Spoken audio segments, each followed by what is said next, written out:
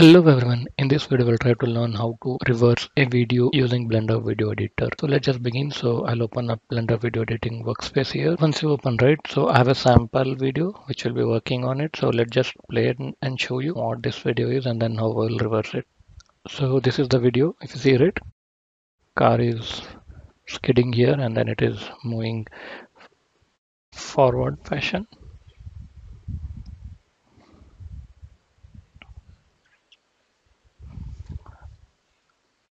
This is the video which we will try to reverse using Blender. Okay, let's just import the Blender video editor and then we'll start working on it. So once it is imported it you have to type home button to fix into sequencer and then just drag it and just placing it to this particular now it looks good once you import it if you see that frame rate for this video is 600 so if you want it you have to change this here 600 so that entire video comes when you render your video so once it is done right to reverse it it is very simple so what you have to do is right you have to just click on the video clip and then what you have to do you have to go to video section and then there is an option here to reverse frame so if you click on this right it's done so no need to do any other thing so let's just play this now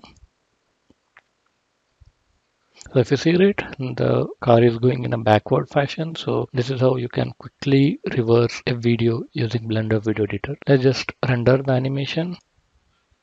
So I'll pause the video here for time being and I'll just show you once it is completed. Now the rendering has been completed. Let's just close this and then just go to output section. This is the output section. Let's just play this video and show you how it looks like.